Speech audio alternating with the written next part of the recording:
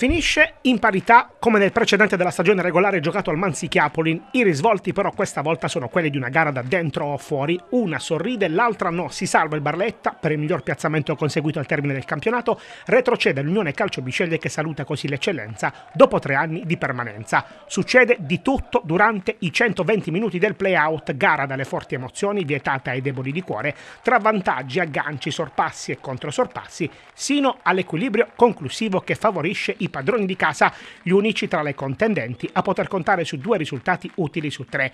Primo quarto di gara dedicato alla fase di studio, punizione di laboragine e colpo di testa impreciso di Varola, conclusione dalla parte opposta di Marco, il più giovane dei due Bartoli, che si perde sul fondo. E ancora, cross di Varola dalla sinistra, avvitamento di Sani, blocca amoroso, traversone dello stesso Marco Bartoli, incornata di Albano para Maraglino, punizione di laboragine, colpo di testa di Ola impreciso. La prima vera occasione della partita del Barletta e arriva alla mezz'ora, Varola disegna per la testa di Sani, palla al lato di pochissimo, insiste la formazione di Franco 5, Varola buonissima la sua prova, trova sulla sua strada il decisivo salvataggio sulla linea del giovane Palumbo, poco dopo però i biancorossi passano in vantaggio, la boragine pennella, Sani giganteggia nel gioco aereo ed insacca così alle spalle di Amoroso, replicano immediatamente gli uomini di Luca Roma prima del riposo, ma sulla punizione insidiosa di Mastro Pasqua prima replica Maraglino, poi salva Ola, Barletta avanti di un gol all'intervallo. La ripresa si apre con la chance del raddoppio, il direttore di gara Mastro Domenico di Policoro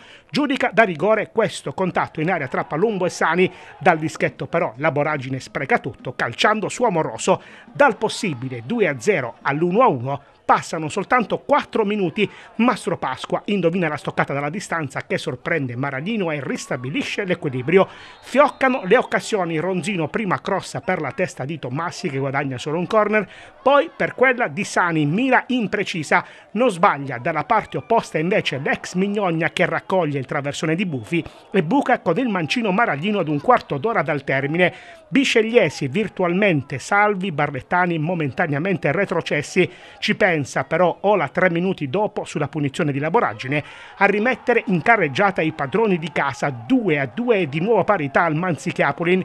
Il rientrato Filanino ha subito la palla per l'immediato sorpasso, ma la spreca così da posizione favorevole e prima del novantesimo Mignogna chiama Maraglino la deviazione in corner, poi sugli sviluppi dell'angolo il portiere del Barletta respinge la stoccata di Mastro Pasqua, mentre il successivo gol viene annullato per una posizione irregolare. Si va così ai supplementari parlamentari che si aprono con la conclusione debole e centrale di Grumo. Quest'ultimo, poco dopo, serve l'assist che Filanino classe 2000 trasforma nell'acuto del nuovo sorpasso primo centro per lui tra i senior non è ancora finita perché all'alba del secondo tempo supplementare è Mignogna su punizione a sorprendere un incerto Maraglino e a ridare speranze ai bicegliesi 3 a 3 fuochi d'artificio al Manzichiapolin può subito richiuderla Grumo amoroso però replica il suo mancino degli ultimi 10 minuti. Ci prova l'Unione Calcio senza trovare il punto del ribaltone. Finisce in parità dunque festeggia il Barletta che resta in eccellenza dopo una stagione soffertissima.